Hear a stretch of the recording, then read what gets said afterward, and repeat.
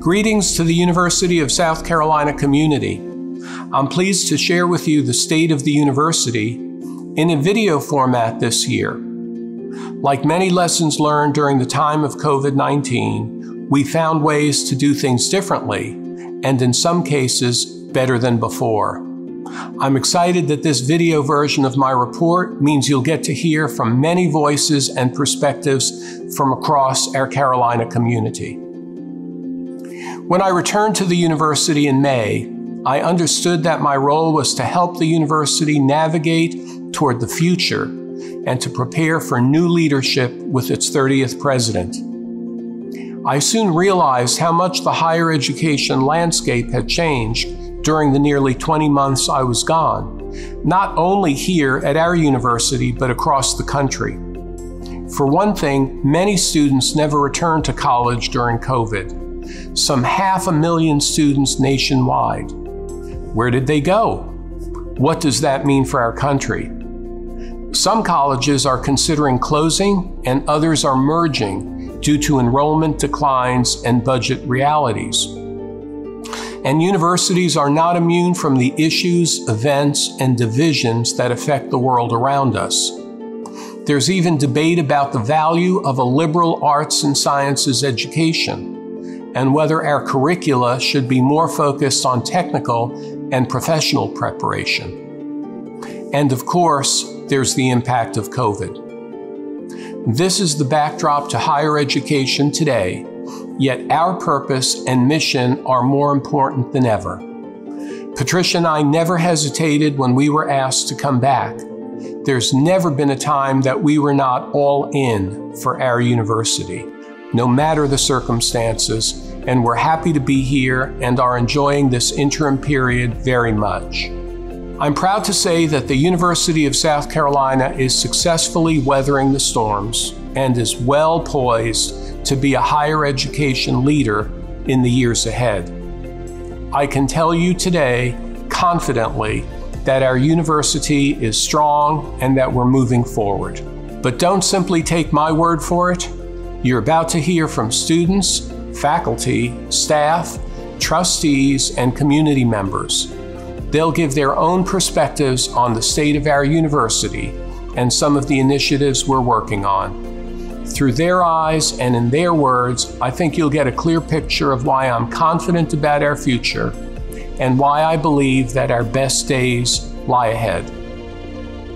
I'm just so glad I made the decision to come to South Carolina. Being a student athlete here, it's amazing. I wouldn't trade it for the world. Having a family away from home is the best thing because life is gonna be hard and even no matter what sport you play is gonna be hard. So you need a group of people that you know is gonna have your back no matter what. And that's what I found here at the University of South Carolina. When I was looking for a college, I was looking for quality education and affordability. Um, I did want to go out of state, so USC became a good option pretty quickly. When I'm talking about the Honors College, I usually start with we're the number one public honors college in the country, and I think that that's very important because it gives you this like smaller liberal arts feel within a really big SEC campus. I really think that the institutional support that the Honors College gives is a lot more than what most honors programs give, so just the number of classes, the number of advisors, the number of opportunities for study abroad research is really unparalleled. The current health of the University of South Carolina is incredible. This past uh, fall semester, we enrolled 8,050 new Gamecock students. Of that, 16% are first generation college students. Couple that with over the past five years, we have an increase of 62% and underrepresented minorities in our freshman class. So U.S. News and World Report has identified the University of South Carolina as the number one for first year experience. This is the third consecutive year in a row that we've received that distinction. And that's remarkable when you think about the effort that we put into the experience that all freshmen at the university receive. This past year, we received our 23rd consecutive number one ranking for international business. That is a remarkable accomplishment. Of all of our top level rankings, the one that stands above all others for me is our reputation for having the best first year student experience of any public college in the country. Other universities come to us regularly to ask us how we earned this ranking and to inquire about the things we've become known for. In fact, our students are why we're here. that has never been more true. Our enrollment is booming, and this fall we welcomed our second largest freshman class ever, one that set a record for its academic credentials, and that also reflects our ongoing efforts to build an even more diverse student body. And we're already on track this fall for a record number of freshman applications for 2022. We're up 13% over last year at this time. Being a university ambassador for me has been one of the most rewarding experiences here at the University of South Carolina because I'm able to not only share my experience um, that I've had on campus, but also show it to people who may not know what it's like to be a Gamecock. I'm able to give tours to people and put some of that Carolina light into a lot of people who don't really know about it. I really want to provide that experience to them that not only shows that this is a great school for academics, also a great school to just grow and to become the best you that you could be. The National Fellowships and Scholarships Office has been really helpful to me during my entire college career. I'm currently a candidate for the Rhodes Scholarship and the Marshall Scholarship, so they were able to point me in the direction of a few fellowships for um, the UK specifically that would allow me to go do the programs that I wanted to do. Applications can be very daunting if you don't know what to do with them. So the fact that we have an office here that can break that down and help you through it is an amazing feature of USC. The accelerated programs at the university, of which there are many, allow students to combine courses and accelerate the time it takes them to earn a baccalaureate degree as well as a master's of science. We have many of those across the university. The health science programs at the University of South Carolina are among the best in the country. In fact, when we talk about the number of programs that are available and the number of schools and colleges, there's only one other university in the United States that matches what we have. What you're going to see over the next several years is development and cultivation of that area to a point where it becomes one of the most important areas that the university has to offer. Over the last year and a half, we rose to new challenges, responding to the pandemic with strategy, action, and resilience. Our faculty scientists helped pioneer a new COVID test that is now being used by other universities.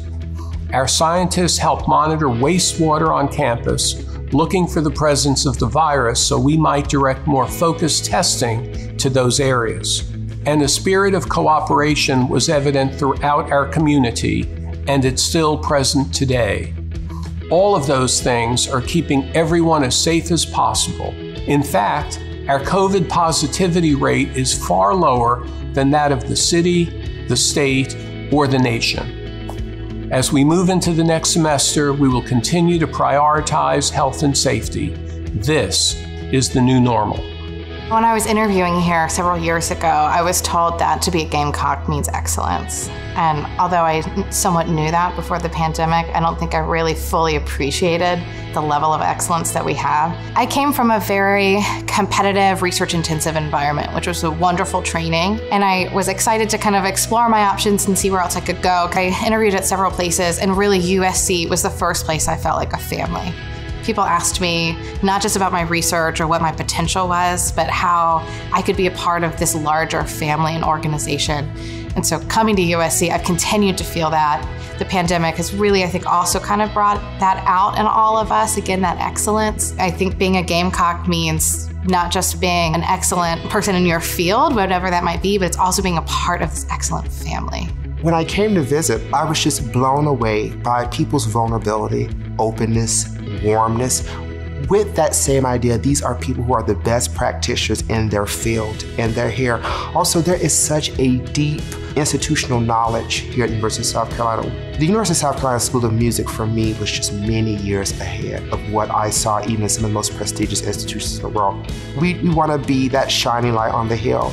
Um, we want to be a, a place that embodies the best in practice, the best in research, the best in teaching and learning, and so importantly, a place that embodies a culture where all people feel welcomed, loved, and inspired. The university has been in a growth mode for a while, and, and that's something that people see as a real positive. You're being financially strong, uh, being an institution where enrollment's up, and, and, being at a place that's investing in its infrastructure uh, is key. People see the trend line moving up for the University of South Carolina, and they want to be a part of that. To be able to lead a flagship R1 institution uh, is a great privilege for uh, any person in higher education, but particularly with the University of South Carolina. Our future is visible from where we stand. Thanks to careful financial management and strong support from state government, we're in sound financial shape. We're sensitive to the economic environment that affects our students and their families. So I'm pleased to announce that we plan to freeze tuition again next year, holding at the same rate for the fourth year in a row. We also aim to be among the state's best employers, and to do that, we must attract and retain good employees with competitive wages. With that in mind, we plan to increase the hourly pay for employees in permanent positions effective January 1, 2022. Folks don't realize the economic impact of the University of South Carolina. And in the Midlands, that impact is probably around $3.7 billion dollars in the local economy, over 14,000 employees, which makes the University of South Carolina an economic engine for the Midlands. The business community embraces the university and vice versa. We have an opportunity to make transformational changes with additional resources allocated to the state through the Federal American Rescue Plan. We've requested $670 million in ARP funds so the university can expand health sciences education to meet the needs of the state improve the infrastructure in utility and information technology that's absolutely essential to the students, staff, and faculty at any world class institution, and invest in maintenance projects that will ensure we offer the high quality learning environment that our students deserve. Campus Village was designed and envisioned to be transformational, and it will be transformational. Almost 300,000 square feet of student living space, and housing space. That'll be 1,800 freshman beds, including food, healthcare, study space, the biggest housing project ever done in South Carolina. The Health Sciences Campus, uh, originally envisioned as an opportunity just to move the medical school from Garners Ferry Road to a new location closer to downtown and closer to our hospital partner, is now a health sciences campus where we envision the medical school, other health sciences, and research all beginning there to what will ultimately fulfill almost as much as 35 acres. And it becomes the central point in all of South Carolina for health sciences education, which is incredibly important. A lot of good things are happening. We've continued to add resources for our student athletes and facilities. We joined the Southeastern Conference in 1992. I came in 1996 as a coach, and it was said at that time that maybe South Carolina is not going to fit in the Southeastern Conference. And one of the reasons was because of facilities and resources that we provided. We've had tremendous growth. We've continued to build. Our facilities are second to no one. The Ken and Cindy Long Family Football Operations Center, what we've done with our practice facilities for men's and women's basketball, baseball stadium. Now we've opened an indoor tennis center. We've improved every facility that we can accommodate our young men and young women who play sports. That is instrumental. It's about providing a positive experience for the young men and young women you recruit to come to your university. If you ask me, the state of the university is strong. The endowment has grown almost to $1 billion. Um, probably 989 million to be exact for those individuals out there who would like to make a contribution to the, to the university to get us to that $1 billion mark. While we're focused on a bright future, we're also addressing current challenges with a continued commitment to making our university wiser, safer, more caring, and more inclusive. We want our future leaders to build on the great story of this university. I've been appointed by the Board of Trustees to chair the Presidential Candidate Search Committee. We went about a process of seeking input from stakeholders throughout the university community and the community at large. We took that information and the information we received from our stakeholder meetings and put those into the leadership profile. So when you look at the profile, those the qualities and traits that we listed there are the ones that uh, we are using as a committee to identify candidates. As a uh, student here at the University of South Carolina, I never would have imagined I would have been in a position to lead the search for our next president. It's an incredible responsibility. There's a burden that we carry as a committee, but also as a board uh, to identify the best person to lead the university into the future. I am serving on the President's uh, History Commission Group, Implementation Group. As you know, there was a History Commission that was uh, charged to put together the histories of the of the University of South Carolina. How can we display, exhibit, explain, and share the histories of the University of South Carolina. The big goal is to put together the history of the university as it pertains to the Columbia culture, the Columbia history, the communities that were a part of the university before the university expanded. As we move forward, there may be naming opportunities for new buildings, considering African Americans that were instrumental in the university's growth, as well as the city of Columbia. In the next three to five years, from a Title IX perspective, I hope that our processes and policies are cleaner, more clear to the students and to the rest of the community, so that we have a better protection for everyone here. So Title IX is a federal law that applies to educational institutions that receive any federal funding. And it prohibits discrimination on the basis of sex, and this includes sexual and gender-based harassment, sexual assault, and any interpersonal violence. We want safety for our campus community and for those around. We want policy and procedures that work and that move our system forward. So we've put together this unified office for Title IX and civil rights. Underneath that, we'll address Title IX issues as well as other acts of discrimination. So we've heard the community and we're not slowing down. There's a feedback form on our website for you to give us more ideas, tell us how to do a better job, and just know that we're continuing to push forward to make this the safest community we can.